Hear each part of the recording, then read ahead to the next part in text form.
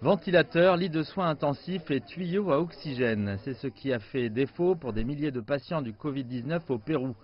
Le virus s'est déversé à travers le pays, en particulier pour frapper les plus pauvres. Beaucoup sont morts à la maison lorsque les hôpitaux, mal équipés, avaient été débordés. Dès le début de la pandémie, le système de santé péruvien chroniquement sous-financé a entravé sa réponse au Covid-19. L'urgence l'a forcé à mettre des soins de santé à jour et au cours des derniers mois, elle a doublé son nombre de lits d'hôpitaux en construisant des hôpitaux de campagne comme celui-ci à travers le pays. Un hôpital de 200 lits construit en seulement deux semaines dans le quartier le plus peuplé du Pérou à l'est de la capitale Lima. Ouvert par le président Martin Vizcarra, Villa San Juan de Lurigancho est l'un des 12 nouveaux hôpitaux dédiés au coronavirus à travers le pays. Le virus est toujours avec nous. Nous ne devons pas baisser la garde. Nous devons combattre le Covid-19 jusqu'à la victoire. Les hôpitaux de campagne visent à prendre en charge les patients du coronavirus le plus tôt possible avant qu'il ne soit trop tard pour les sauver.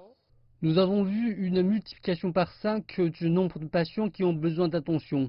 Ce dont ils ont le plus besoin, c'est d'oxygène. Donc nous avons dû installer plus de lits, mais tous avec de l'oxygène canalisé. Le Pérou a fait état de plus de 12 600 décès. Mais les experts calculent que le véritable bilan de la pandémie pourrait être trois fois plus élevé. Le taux de surmortalité du Pérou, mesuré comme le nombre de décès au-dessus de la moyenne normale, pourrait atteindre 40 000, l'un des plus élevés au monde. Fiorella Molinelli travaille à l'agence de sécurité sociale du Pérou, Es Salud. Il y a des décès dus à des cas suspects de Covid-19.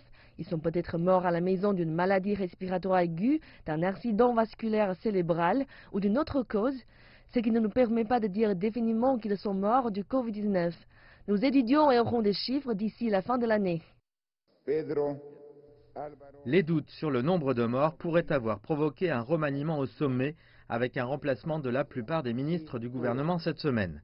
Alors que les fonctionnaires disent que le taux d'infection ralentit, que des millions de personnes sont de retour dans les rues, les experts craignent que la charge des cas coronavirus ne recommence à monter à nouveau.